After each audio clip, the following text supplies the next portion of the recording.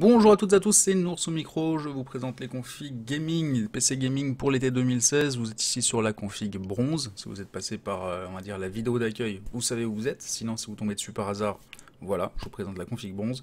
Je le rappelle, c'est écrit en dessous, ce sont des configs qui sont proposés sans OS et sans ODD. Sans OS parce que si vous ne vous êtes pas fait arnaquer euh, en achetant un Windows OM, vous pouvez le réinstaller, il n'y a pas de souci. Et sans ODD, puisqu'on peut s'en passer au jour d'aujourd'hui. Si bien sûr vous en avez besoin, vous pouvez bien sûr le rajouter, ça coûte environ entre 12 et 15 euros, il n'y a pas de souci là-dessus. Les configs, je le rappelle, pareil, si vous n'êtes pas passé par la vidéo d'introduction, sont faites chez LDLC, mais vous pouvez aller chez n'importe quel web marchand, ce n'est pas mon problème, entre guillemets. Juste, je conseille LDLC, car ils ont un très bon service après-vente, je sais qu'ils sont un peu plus chers que d'autres sites, c'est pour ça que les prix ont été je le répète une fois de plus, revu un petit peu la baisse. Par exemple, ici, vous avez un panier à 620 euros. Je l'ai mis en config bronze à 600 parce que, honnêtement, pour être complètement transparent, si vous allez sur d'autres sites, vous pouvez vous faire la même config pour 600 euros. Après, c'est à vous de, euh, de voir en fonction euh, des risques pour les sites, etc., etc. Je ne suis pas payé par LDLC, je n'ai aucun partenariat avec LDLC. Allez, on commence avec ces configs. C'est une config micro ATX dans un petit boîtier que vous connaissez si vous me suivez depuis longtemps. Alors, pourquoi micro ATX Tout simplement parce que ça prend pas de place. Et puis, euh, pour les, les, types de configs qui vont comme ça, on n'a pas besoin d'un gros boîtier avec grosse ventilation, on n'a pas besoin de beaucoup euh, de matériel à l'intérieur, beaucoup de disques durs, beaucoup de SSD. Donc le micro ATX va parfaitement pour euh, ce type d'utilisation. Avec le boîtier Cooler Master N200 que vous voyez ici. Petit boîtier euh, prouvé et éprouvé que j'ai monté, mais je ne sais pas combien de fois. Donc il y a deux versions, il y a la version avec fenêtre D'ailleurs, il y a un bug, si quelqu'un d'LDLC voit cette vidéo. Euh, photo non contractuelle, c'est très bien, parce qu'il y a un bug ici, il vous présente la version avec fenêtre, alors que moi, la version que je vous donne, c'est la version sans fenêtre, donc avec euh, la petite grille sur le côté. Petit boîtier micro ATX qui remplira vraiment très très bien son rôle, il n'y a aucun souci là-dessus. On va peut-être pas faire les trucs dans l'ordre, on va faire un ordre plutôt logique. On passe sur une carte mère. Alors, on est sur les... forcément, on est en Intel, euh, il n'y a aucun, aucune config AMD. Euh, tout simplement parce qu'il n'y a aucun intérêt à acheter une config AMD à base de processeur AMD au jour d'aujourd'hui. Les rapports qualité-prix ne sont pas pertinents. Euh, les performances générales ne sont pas pertinentes, sauf sur des benches spécifiques qui nécessitent beaucoup de cœur, etc., etc. Mais dans les applications générales, qui sont la plupart du temps pour vous les jeux, vu que ce sont des configs gaming, il n'y a absolument aucun intérêt de passer sur une config AMD. Donc euh, voilà, on ne sera que sur des configs Intel. Donc une petite carte mère euh, en H110MM pour micro ATX de chez MSI. Carte mère à moins de 60 euros qui remplira très très bien son rôle. Vous aurez euh, accès à la DDR4, vous aurez accès à toutes les nouvelles euh, comment s'appelle? Toutes les nouvelles fonctions qui vont vous permettre de gérer la sixième génération, donc les Intel Core, les Skylake, je vous le rappelle. Voilà, etc., etc. Vous pourrez aller voir la description plus précise sur le site. Je vous laisse regarder brièvement comme ceci. Vous avez de l'USB 3. Vous n'avez pas d'USB 3.1, faut pas non plus rêver, on est sur une config qui n'est pas chère du tout.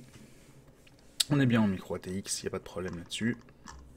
Voilà, on va passer maintenant au processeur. Alors on reste sur du i3 tout simplement parce qu'à ce prix on peut pas se permettre de prendre du i5. J'essaie de faire une config qui est vraiment restreinte au niveau tarif pour la première niveau bronze. Donc on est sur un i3, le 6100 qui est quand même cadencé à 3,7 GHz, donc c'est assez haut en fréquence. Il n'a que deux cœurs, certes, mais c'est assez haut en fréquence. Et ça vous permettra, euh, bah, par exemple, joueur de StarCraft, de faire tourner StarCraft à fond, sans aucun souci. Euh, StarCraft joue, tire beaucoup sur le processeur, plus sur le processeur que sur la carte graphique.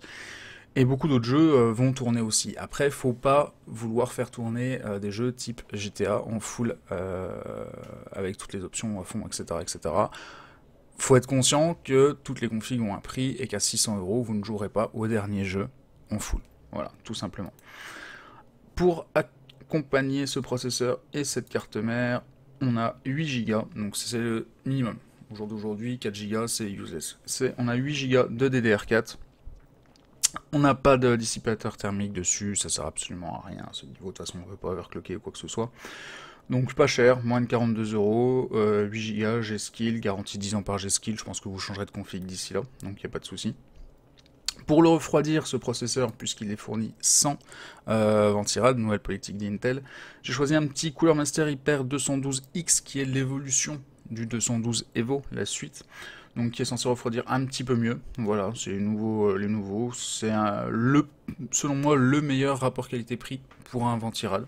35 euros, entre 30 et 35 euros suivant les sites.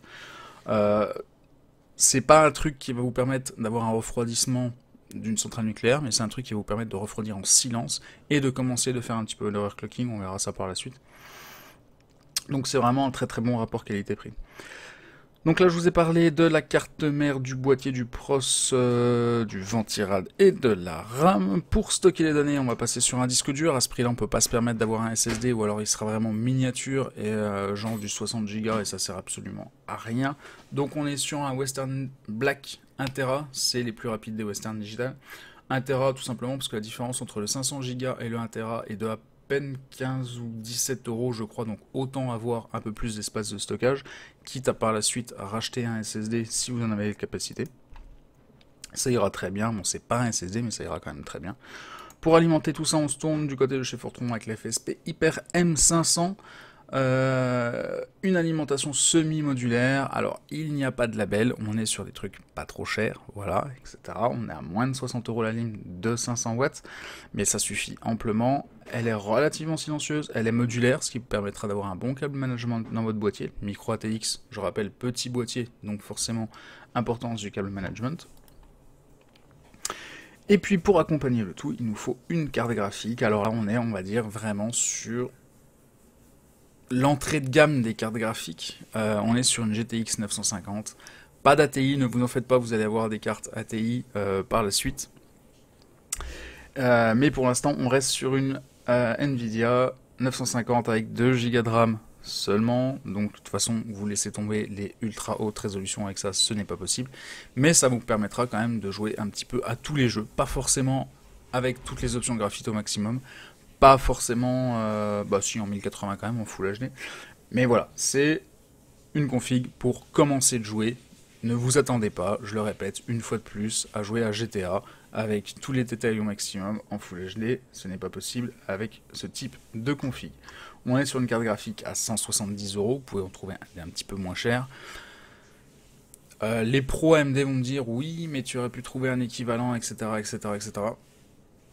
Peut-être, pourquoi pas, c'est pour ça. Si jamais vous avez le moindre doute, n'hésitez pas à me contacter sur Facebook, le lien est dans la description. Et puis on verra ce qu'on peut faire euh, pour, euh, on va dire, arrondir les angles de votre config, peut-être essayer de choper pour 10 euros de plus quelque chose qui va être un peu plus performant, ou alors 20 euh, euros de moins quelque chose un peu moins performant, mais pas de beaucoup. Enfin bref, n'hésitez pas à me contacter si jamais vous avez des questions par rapport à ça. Et puis voilà, on a fait le tour de cette config bronze, donc qui est vraiment là pour débuter je le répète une fois de plus. C'est une config qui, mine de rien, sera tout de même évolutive dans le sens où vous pourrez passer sur un i5 si besoin. Vous pouvez évoluer aussi la carte graphique, donc vous pouvez partir de cette base, de la base de cette configuration, c'est-à-dire la carte, la carte mère, la RAM, euh, l'alimentation, le boîtier, le disque dur, et puis monter un petit peu en gamme en passant par exemple sur un i5 et puis en passant sur une carte graphique un petit peu supérieure. C'est une euh, config d'entrée de gamme, mais qui est pérenne dans le temps et évolutive. J'espère que ça vous a plu. N'hésitez pas, je le répète, pour aller voir les autres configurations, vous cliquez sur les liens qui sont là au-dessus. Pour vous abonner, c'est tout en bas à droite. Et pour me suivre, dans la description, follow, Facebook, Twitter, Twitch, etc. etc. Je vous fais des bisous, je vous dis à bientôt. Ciao, c'était dans son micro.